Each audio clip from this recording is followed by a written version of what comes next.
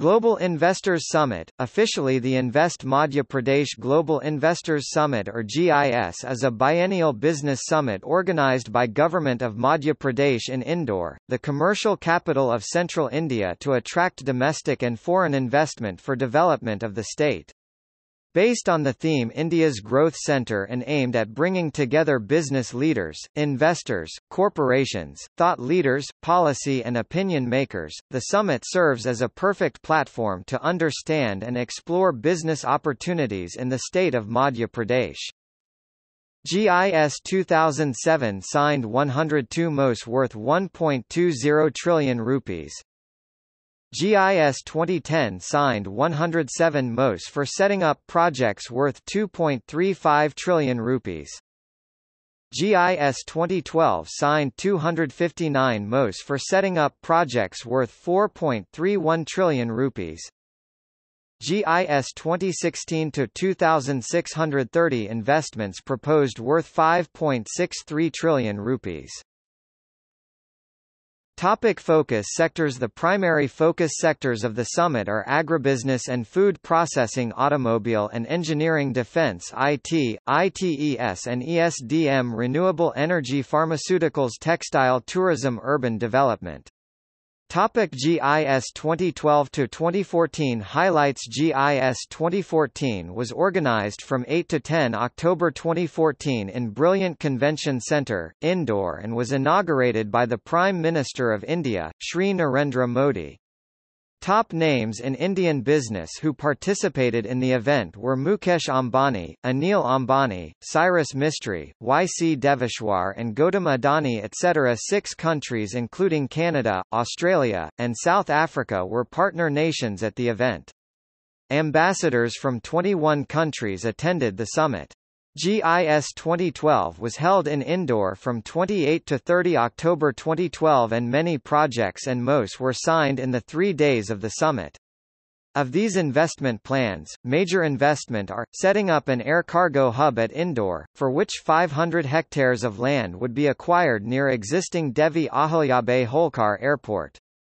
Reliance Anil Dhirubhai Ambani Group will enhance its integrated power plants in Madhya Pradesh at an investment of 25,000 crore rupees. HUDCO to invest 2,000 crore rupees to strengthen urban water supply and urban infrastructure development schemes. M-Tech Metals and Mining has inked MO to invest 9,000 crore rupees in an integrated steel plant and an auto park to be set up in Jabalpur division. Future Group plans to invest 2,500 crore rupees for an integrated food park and to create jobs for 21,400 people. Vellore Institute of Technology plans to invest 500 crore rupees to set up a university in the state. Bharat Forge will invest 1,880 crore rupees to set up a steel plant at Shahdol and auto component plants near Indore.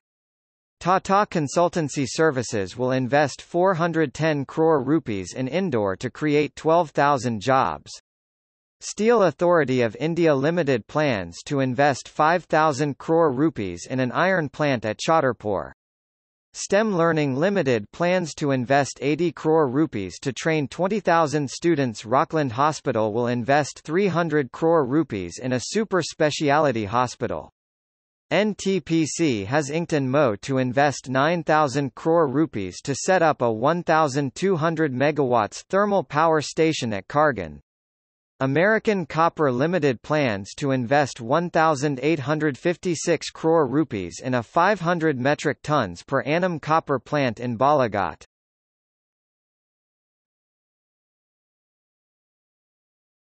Topic: GIS 2016 highlights. The Global Investors Summit 2016 was organized on 22 and 23 October at Brilliant Convention Center, Indore. On 21 October 2016, the Global CEO Conclave was held where 150 ambassadors of partner countries, CEOs of industrial groups and representatives from abroad shared dinner with the Chief Minister of Madhya Pradesh and discussed investment opportunities in the state. GIS 2016 was partnered by six countries the United Kingdom, UAE, Singapore, Japan and South Korea. The foundation stone for States Make in Madhya Pradesh initiative was laid by Chief Minister at the event. GIS 2016 was inaugurated by Finance Minister of India, Shri Arun Jaitley. Baba Ramdev and Gopikant Hinduja attended the event for the first time.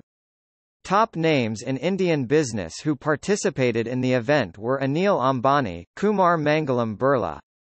The valedictory session was presided over by Minister for External Affairs, Sushma Swaraj. Total number of MOs signed and total investment figures are yet to be confirmed by the government.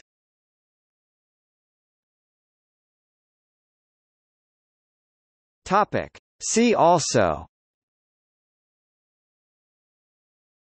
Government of Madhya Pradesh.